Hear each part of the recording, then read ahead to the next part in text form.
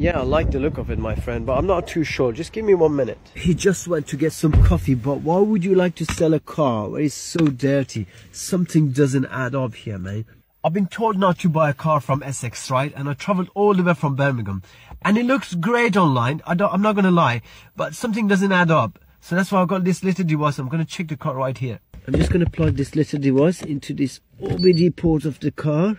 No way, all the lights are on. I knew something is wrong with this BMW. So my mate is a mechanic, right? And he put me into one of these. And this device can check everything about your car. Up to 15 different functions, which is absolutely amazing. So I'm going to do a quick health check on this car and see what's wrong with it. So I'm just running the health check now and it's, it seems to be some problem with it. Oh my God, there's two problem with it. I knew he's, he's into something. Let me just check this out. I don't know if I understand the code at all, but it's give me the code right? Is all the codes. I can also clear the code, but I don't think I'm going to do that because these are absolutely huge, huge problem. I don't think I'm going to buy this car. Oh mate, your car is shit, man. I'm so glad I've got one of these people. I've got it for 120 pounds and now it's so cheap as well. If you want to grab yours, I'm going to link it down below for you.